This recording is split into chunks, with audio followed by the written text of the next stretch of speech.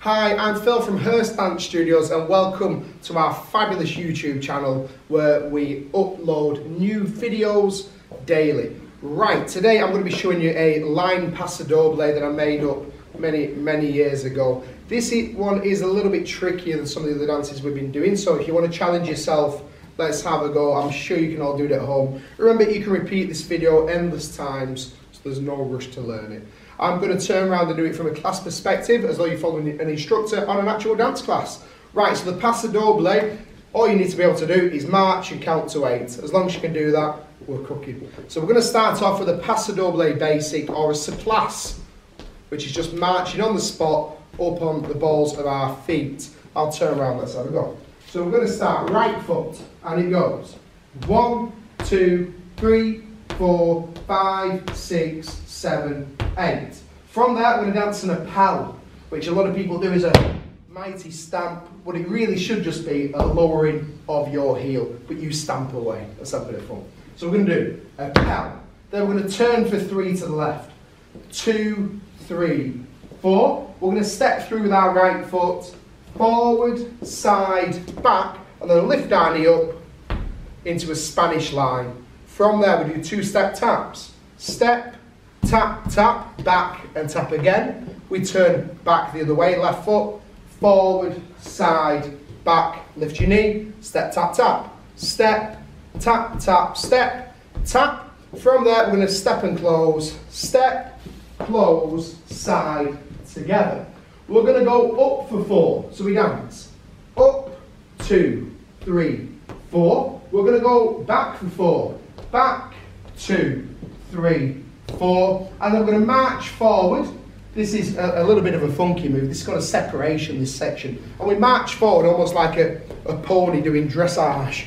So we're going to go right foot first, five, six, seven, eight. Then we're going to do a syncopated separation, close point, close point. Repeat that section up for four, up, two, three, four, back, two, three, four, forward, two, three, four, close point, close point, and then we start again. I'll walk through that twice without music, and then we'll do it twice with music. I'll do it with the count.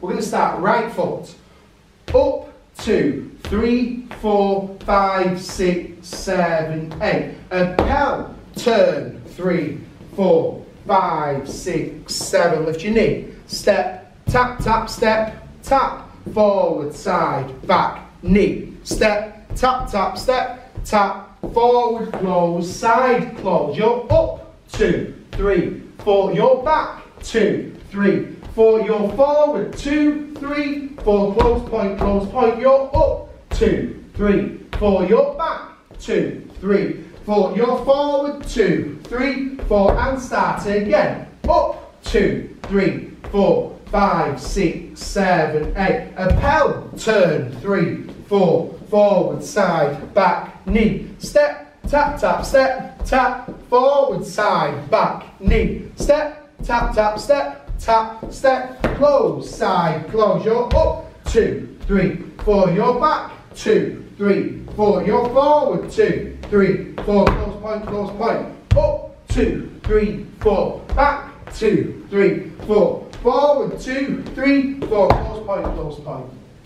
Let's try that to music a couple of times. So we're going to use the tune España Cañi, or you can use Spanish Gypsy, or endless other paso doble tunes that are available online. Let's have a go.